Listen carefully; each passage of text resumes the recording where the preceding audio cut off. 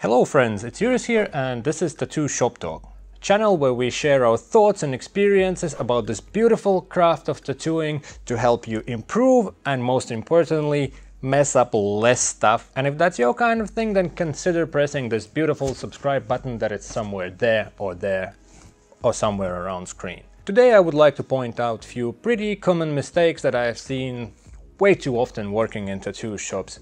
So let's start with common hygiene errors by tattoo artists. So the first thing I would like to point out is not changing gloves. It's these beautiful things, they're pretty cheap and they should be changed every time you touch something that you shouldn't touch or you're just suspicious that you might have touched it. One example would be every now and then you see a tattoo artist who's so carried away and so into work and he will have those gloves on and He's been cleaning that tattoo and rubbing that bloody paper towel in that fresh tattoo for a while and then he needs some new inks and then with the same gloves tattooist would grab ink bottle, pour some ink in, put it back on a shelf and continue working. That's pretty nasty but that's only one example. Some people will have their gloves on like when they start to set up and they will take them off only when tattoo is done maybe in the middle if they need to go to toilet because they don't want to touch their little friend because that's too sacred then they remember that the gloves should be changed. But some will work like until they all bubbled up from having Vaseline on and they would grab everything in between and the gloves would come off only when tattoo is done. They would even take a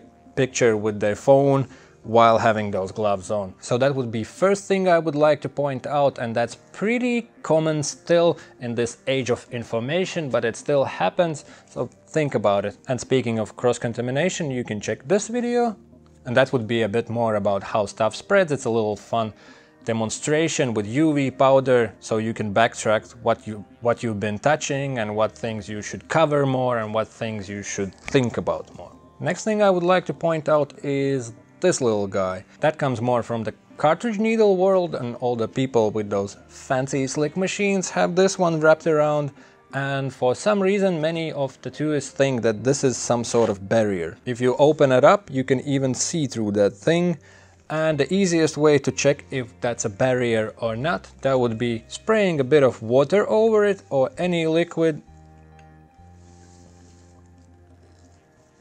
and if it leaks through, then obviously it's not a barrier.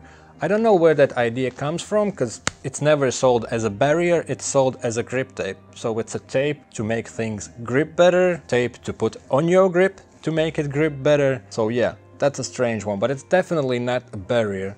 If there's some plastics or something else that doesn't let liquids through, that's a different story, but some people will use just this and they're like, no, no, no, my machine is clean. I have this thing on. Bullshit. Speaking of barriers, we also have a good example here when people would cover stuff with just paper. If it gets through the paper, it's also not a good barrier.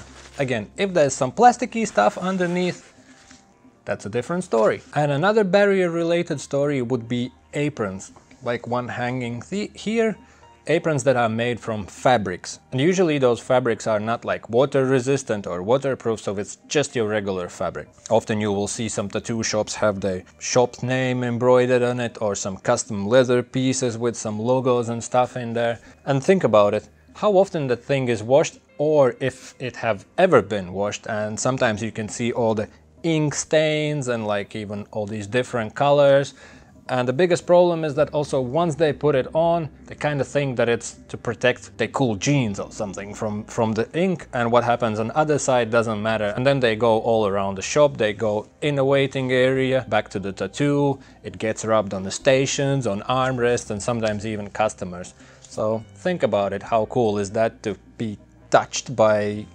ink that's sprayed from somebody else's tattoo? So yes, aprons like that one is cool, but maybe they're not entirely clean.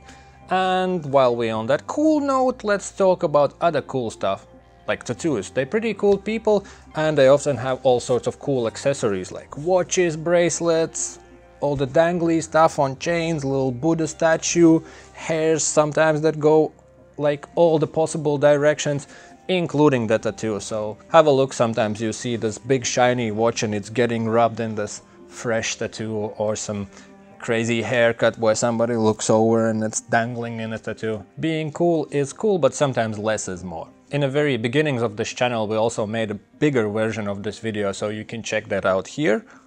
And that was our first talk and we talked about stuff that we assume is dirty and that we don't want to see around us but it still happens. So if you have time crack a cold one and check this video. And now you if you have any thoughts or experiences leave them down below in the comment section.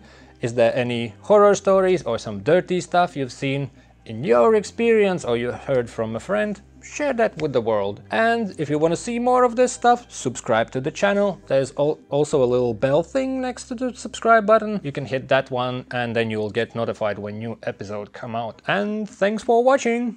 Stay safe, get clean tattoos. Bye.